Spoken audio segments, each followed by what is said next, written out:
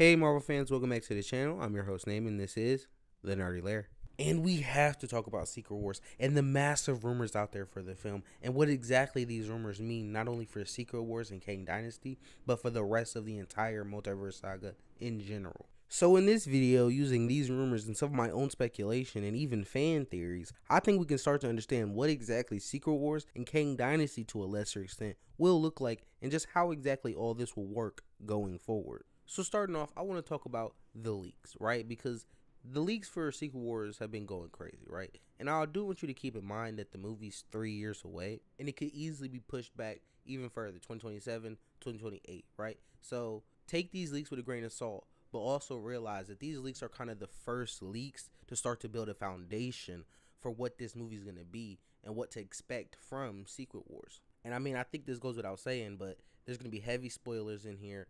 I mean, it could potentially spoil the whole Secret Wars thing for you. So if you don't like that type of stuff, you would get out now. This is the time. So basically, the leaks go as follows, right? We're going to have a group of Avengers from Kang Dynasty. They're going to lose. Kang's going to win and due to reasons I'm going to talk about in an Ant Man video I'm going to make, he will be a Beyonder level threat, right? That's kind of the vibe.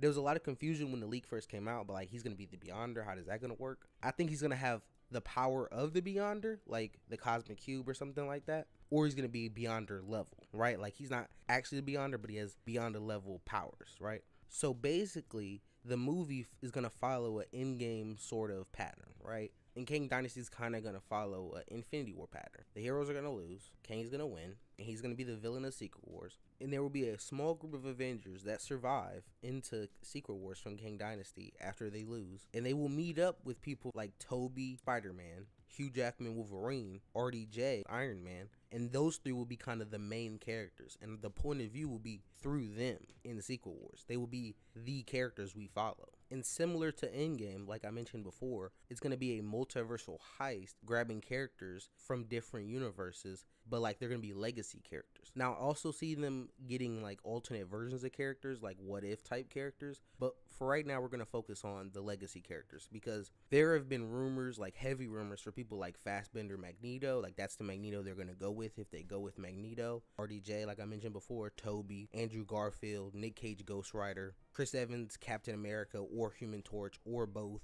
and of course Hugh Jackman Wolverine, who's already coming back for Deadpool 3. And basically, how it goes is like they'll be grabbing them from their universes, from the Fox X Men universe, from the Fantastic Four universe, from the Sony Spider Man universe. They'll be grabbing them up, and they'll actually be led by a He Who Remains will be on the side of the good guys but due to timey-wimey reasons, it's literally how it's been explained to me. It will be his first time through, so he's never experienced Loki. He did never experienced, I don't think, the multiversal war, the first one. So he'll be coming through kind of brand new, but he'll be helping this group of like multiversal Avengers that are led by RDJ, Tobey, and Hugh Jackman. Wow. Now I don't know about you, but if these leaks are true, I think Wars could be one of the greatest not only movies, like comic book movies, but just movies in general that I've ever seen along with the big spectacle, the fan service, all of the things we want as fans. But this story sounds amazing.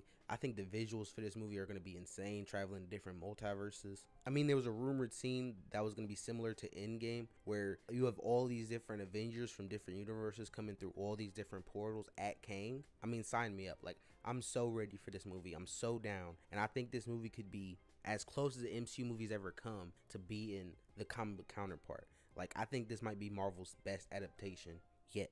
And I'm very excited for that. And I'm just very excited to start talking about like leaks and theories and all this stuff for Secret Wars. It feels like Endgame, but like we're three years away from the movie. We have so much time to talk about and think about what exactly this movie is gonna be. And I, I'm just so ready. I think this movie is going to just knock everybody's socks off. I don't know if it'll have the same type of fervor or hype as Endgame, but I do think it will be a better movie than Endgame and a better experience. And I just think it's so fun to potentially having all these iconic characters coming back and potentially grabbing them from like iconic scenes from the Fantastic Four movies, the X Men movie, the friggin' Blade movies. Like you can grab people from like scenes in those movies, which is very similar to what we see in Avengers Endgame when they go back to 2012 and we see like Cap versus Cap. And there's also leaks that like Kang is gonna be grabbing up his own villains. Sign me up. Like that sounds so crazy, so epic, and exactly what I want from a movie version of Secret Wars. And I think the biggest question, right? What is gonna happen at the end of Secret Wars? Like what is gonna happen after Secret Wars? Are they gonna reboot, do a soft reboot like the comics, and bring in people like RDJ, Wolverine, Hugh Jackman, Wolverine? the X-Men like are they is he going to streamline all this Marvel movie stuff and make it one sacred universe with all these people that are now just in the Marvel universe like maybe Eddie Brock Venom from the Sony universe? I don't know. The possibilities are endless and I'm just really excited and just super hype about all the possibilities about all the rumors the theories and all the speculation that's going to be going on in the next 3 years. And I'm really pumped for a projects like Ant-Man Quantumania Loki season 2 Deadpool 3, all these projects that are going to give us more hints as to what's going to be happening, more keys, if you will, to unlock the secrets of what's going to be happening in Secret Wars and Kang Dynasty. And I'm super excited. If you agree, disagree, leave your opinions down below. Peace out.